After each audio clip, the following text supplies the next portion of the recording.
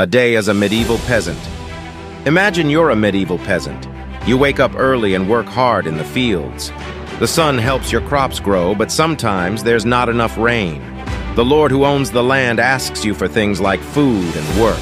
It's tough, but you find happiness in small moments with friends and by a warm fire.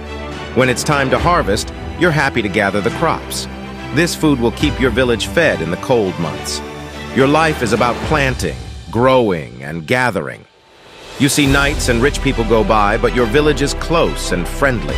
You all help each other, facing problems together. Years pass, and you watch families start and grow older. Your life shows strength, living off the land and finding joy in your village, family, and the changing seasons.